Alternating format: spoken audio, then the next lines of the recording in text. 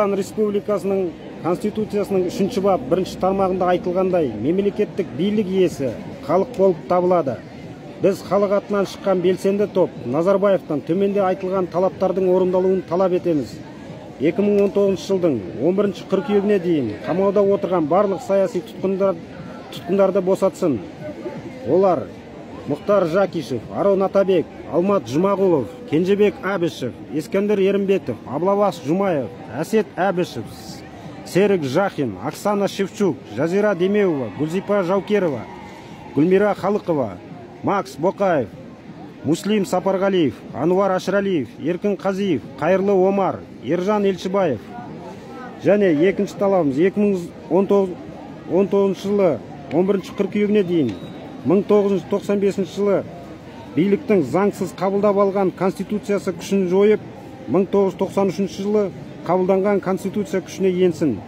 Көрсетілген уақыт арасында біз қойған талаптар орындалмаса назарбаевты және оның істеген іс салдарымен қоршаған ортасының билік басынан кетуін талап етеміз.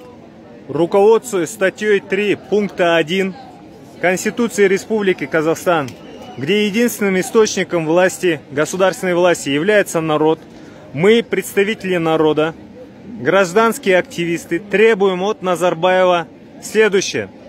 Срок до 11 сентября 2019 года освободить из тюрем всех политических заключенных Мухтар Джакишев, Арон Атабек, Алмат Джумагулов, Кенжибек Абишев, Искандер Ерембетов, Аблаваз Джумаев, Асет Абишев, Серик Жахин, Оксана Шевчук, Жазира Демеова, Гульзипа Джаукерова, Гульмира Калыкова, Макс Бакаев, Муслим Сапаргалиев, Ануар Аширалиев, Еркин Казиев, Кайрлы Омар, Ержан Елшибаев.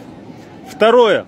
Срок до 11 сентября 2019 года вернуть в действие Конституцию РК образца 93 года, незаконно упраздненную властями.